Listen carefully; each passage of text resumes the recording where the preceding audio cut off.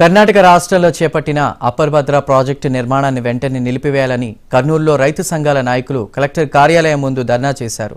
Upper Bhadra project నిర్మిస్తే రాయలసీమ ప్రాంతం ఎడారిగా మారుతుందని ఆందోళన వ్యక్తం చేస్తున్నారు.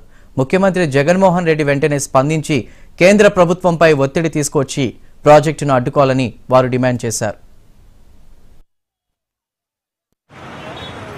కర్ణాటక యమున అప్పర్ భద్ర ప్రాజెక్టు నిర్మాణానికి వ్యతిరేకంగా ఇంకా భద్ర. భద్ర అనేటువంటిది కర్ణాటక ప్రాంతంలో ఉండేటున్నది అక్కడ ప్రాజెక్టు నిర్మాణం కోసం బ్రజేష్ మిశ్రా అనే అలాట్ చేసినటువంటి నీళ్ళ కోసం కేంద్ర ప్రభుత్వం ఐదు వేల పై ఐదు వేల పైచీలకు కోట్లు నిధులను విడుదల చేసింది. దీన్ని ఇక్కడ ప్రధానంగా ఆంధ్ర రాష్ట్రంలో ఉండేటువంటి రైతు సంఘాల వాళ్ళ డిమాండ్ ఏమంటే ఇక్కడ ప్రధానంగా అక్కడ ప్రాజెక్టు కట్టడం ద్వారా రాయలసీమకు సంబంధించి కర్నూలు అనంతపురము కడప జిల్లాలకు సంబంధించినటువంటి ప్రజానీకాన్ని గురించి విస్మరించడం అనేటటువంటిదే ప్రధానంగా ఈరోజు చేస్తున్నటువంటి ధర్నా ఉద్దేశం ఇది.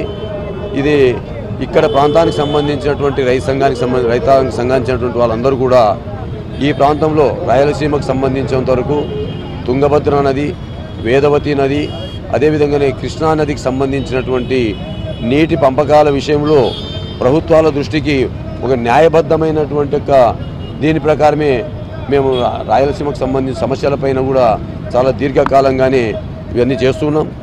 సిద్ధేశం దగ్గర అలుగు నిర్మించాలనేటువంటిది. గత ప్రభుత్వము పోలవరం ప్రాజెక్టు కంటే ముందు పశ్చిమ పట్టిసీమ చేసింది. అక్కడ ఇరవై నాలుగు పంపులు ఉన్నాయి.